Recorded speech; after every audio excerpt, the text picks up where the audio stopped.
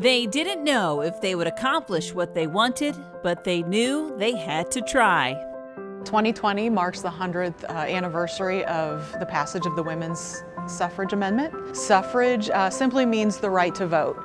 And so until 1920, women were in Missouri denied the right to vote in any election. Suffrage was a national movement, but many historic moments happened right here in St. Louis.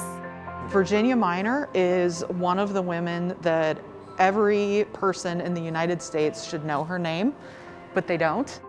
But Virginia Minor essentially kicked off the suffrage movement in the, in the entire country. Honoring Virginia Minor and the bravery of other women in our city by telling their stories was the motivation behind the Missouri History Museum's new exhibit, Beyond the Ballot, St. Louis and Suffrage. All of, all of the artifacts and all of the sections on this side are really showing that um, even without the vote that women were, were impacting St. Louis and really making a change in the city and really impacting the city.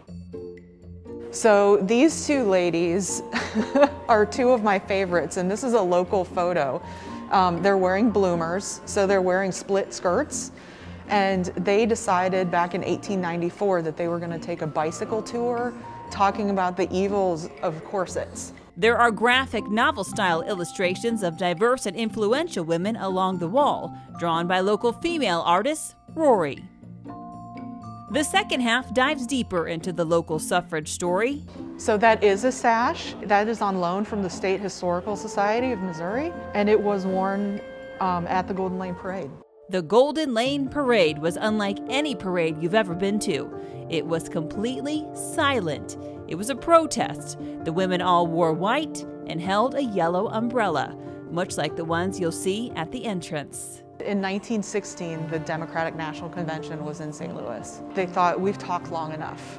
And so they made this plan where all of the delegates who are coming were staying at the Jefferson Hotel, which is still there, Jefferson Arms Hotel. And then they were going to the convention at the Coliseum, which is basically a straight shot down Locust. So the men ate their breakfast at the Jefferson Hotel and then walked to the Coliseum and as they were walking, as you can see in this picture, there was there were just rows of women just standing there silent, staring them down. What they were wanting is for the Democrats to put a suffrage plank on the presidential platform. You know, and you think they couldn't vote it in themselves. They had to convince the men to share power.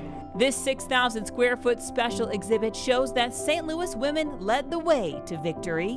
1910 to 1919 were really the years that, that the suffragists were active in St. Louis and really making things happen. And we put this timeline together to really highlight the growth of the movement. There's nothing women can't accomplish when they do it together. One of the things that they handed out when, when women registered were these little cards that they could hang in their in the window. And so we've blown it up and actually reproduced them. They were determined and still are every woman's story is important. Our vote is important.